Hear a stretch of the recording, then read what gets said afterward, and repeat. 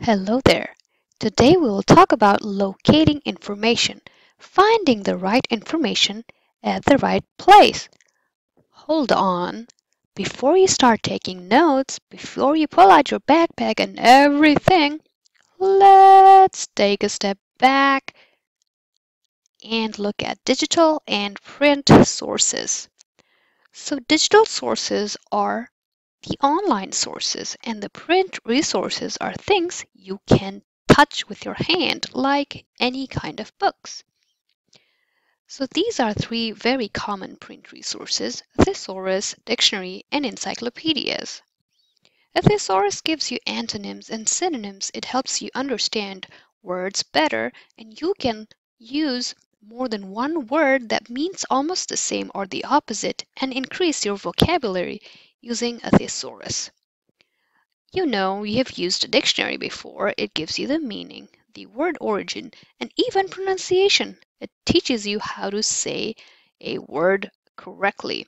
And encyclopedias are sets of books. They have all the information on one subject. There may be an encyclopedia on just whales. Whoa, that's huge.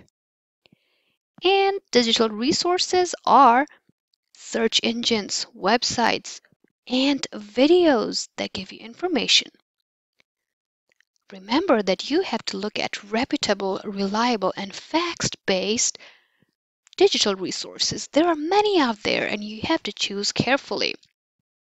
Two examples of very reliable websites end in .gov and .org. Ask your teacher on how to find reliable digital sources. After all, they are very good resources. Let's apply this knowledge in reading a passage. So this is a print resource. If you were to find out information about how strong gravitational pull is, you will read the section called The Force and here you will locate information. If you want to know how a black hole appears, you will look at a photograph. You are locating information. And this is an example of a reputable website. It ends in .org. Look, there is where you can find videos, there is where you can find more space facts, and all these different tabs take you to different places.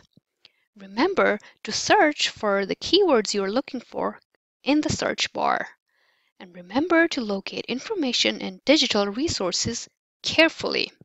Now that you have looked at print and digital resources, apply this knowledge and conquer the universe. If you are looking for information that supports your opinions, conclusions, or predictions, remember to search for those in print and digital sources. Always ask for your teacher's help or a librarian's help or your parents' help and they can always direct you to the right resources to find the correct information.